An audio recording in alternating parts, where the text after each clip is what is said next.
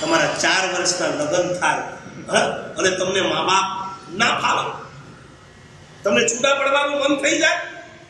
નહીં નહીં નહીં, મમ્મી પપ્પા સાથે નહીં ફાવે. ઘણાને તો બોલતા નથી ફાવતું મને કહે કે મા બાપ તમારી સાથે શરમાવ. તમે બે ભાઈ છો ને તમારી સાથે કદાચ તમારા મમ્મી પપ્પા રહેતા હોય, તમારે એમ બોલે કે મમ્મી પપ્પા મારી સાથે રહે છે તમારે એમ કહેવાનું, હું હું મમ્મી પપ્પા સાથે તમે કરોડ રૂપિયાનો બંગલો બાંધી દીધો તો તમે તમારા બંગલાના માલિક કહેવા તમારા મા બાપના માલિક નથી કહેવા મા બાપે જન્મ આપ્યો, જિંદગી ભર સુધી તમારા માલિક તો તમારા મા બાપ છે. ભલે એક રૂપિયો તમને કમાવીને નથી આપ્યો. અરે કદાચ એની શક્તિ નથી તો એમણે કઈ નથી આપ્યું. તમે પાતાળ, પથ્થર પડીને આખી ઇમારત તમે ઉભી કરી છે ઓકે પણ તમારા દૂધના માલિક કોણ થયા તમારા બંગલાના માલિક તમે હશો તમારા બોડીના માલિક તો કોણ કહેવાય મા બાપ તો મા બાપ મારી સાથે રહે છે આવું મત બોલો હું મમ્મી પપ્પાની સાથે હમણાં હમણાં એક મને નવો વિચાર આવ્યો ભૂતકાળ એ હતો કે બાપ દીકરાને વનવાસ મોકલતો દેખો કેટલા ઉલટા ચલતા મોકલ્યા હતા કોને મોકલ્યા હતા दशरथ कोने मोकलिया था राम लक्ष्मण सीता ચૌદ વર્ષનો વનવાસ ભૂતકાળ એ હતો બાપ દીકરાને વનવાસમાં મોકલી શકતો આજ ઉલ્ટા હો ગયા જમાના પૂરા ઉલ્ટા હો ગયા આજે દીકરો બાપને ક્યાં મૂકી આવે છે વૃદ્ધાશ્રમ વૃદ્ધાશ્રમ કરતા તો વનવાસ હજી સારો સારો કે નહીં વૃદ્ધાશ્રમ કરતા તો વનવાસ સારો ચોખ્ખી હવા તો મળે હા, ચાર બાજુ નેચરલ સિન્સિનરી તો મળે. અને આવતીકાલે કદાચ ચૌદ વર્ષ પૂરા થાય તો પાછું ઘરે આપવા પડે. વૃદ્ધાશ્રમ, વનવાસ કરતા પણ સારા રોજ રોજ યાદ કરી કરી કરી કરી દિવસો પસાર કરે. નિશાસાઓ નાખે રાખતા. અને તમે કદાચ એને વૃદ્ધાશ્રમ કહેતા હશો? મેં એક નવું વૃદ્ધાશ્રમની વ્યાખ્યા આપી મોડર્ન વૃદ્ધાશ્રમ. નવસારીમાં એવા વૃદ્ધાશ્રમ છે કે નહીં ખબર નહીં, પણ હશે. ગેરંટી હશે. મોડર્ન વૃદ્ધાશ્રમ કોને કહું ખબર છે. જ્યાં બંગલો છે, બંગલામાં મા બાપ છે, દીકરો નથી. દીકરો ક્યાં છે? યુએસએ ઓસ્ટ્રેલિયા ગયો છે કેનેડા ગયો કેમ? એ ભણવા ગયો પછી ત્યાં જોબ કરશે.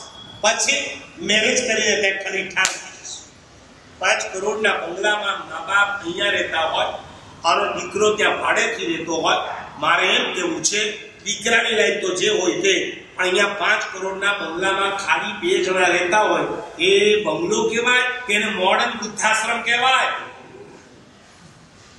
અને આ મોડર્ન વૃદ્ધાશ્રમ કરતા તો પેલા વૃદ્ધાશ્રમ સારા. અહીંયા તો રોજ સવારે ઉઠીને ડોહાએ ડોહીને જોયા કરવા ડોહીએ ડોહાને જોયા કરવા ત્યાં કમસે કમ બીજા પાત્રી તો હોય. એકબીજાની સાથે વાતચીત થાય, એકબીજાની સાથે પોતાના દુઃખ શેર કરવામાં આવે, જિંદગી આ રીતના પૂરી કરવામાં આવે. કુછ નહીં, કોઈની સાથે વાત નહીં, ચિત્ત નહીં, અને મગજ ક્યારેક ભ્રમિત થઈ જાય એવા કેટલાક પાપા જોયા છે, ગાંડા. મગજ અવમાન છે. કે નહીં આવા નવસારીમાં બંગલા? કે જેના દીકરાઓ પરદેશ હોય?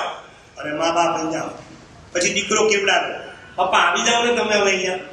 તમારા અમને ગમતું નથી. બાપ કે કઈ તું અહીંયા બધા નહીં, હવે અમારે ત્યાં સેટ નહીં થવાય હવે આ દસ વર્ષ અહીંયા ગયા છો, હવે ઇન્ડિયા નહીં ખાવું જ્યાં તે જન્મ લીધો છે, જ્યાં તું મોટો થયો છે, જેના આહાર પાણીની તારે શરીરનું ગઠન થયું છે, એ ઇન્ડિયા હવે ન ફાવે. દસ વર્ષમાં તું પરદેશી થઈ ગયો. યસ, હવે અમને ના ફાવે. તમારે આપવું તો આવો.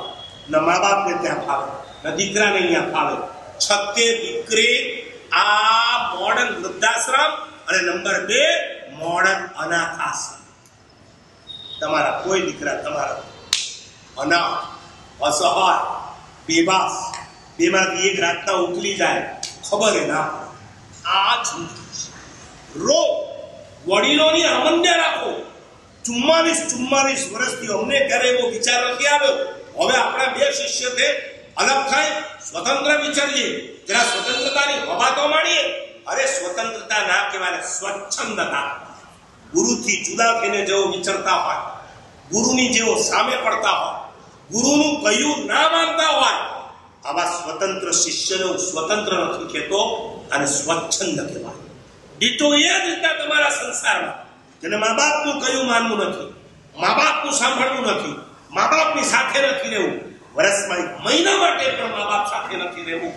આ દીકરાઓને, આ પરિવારોને હું સ્વતંત્ર પરિવાર નથી દેતો સ્વચ્છંદી પરિવાર.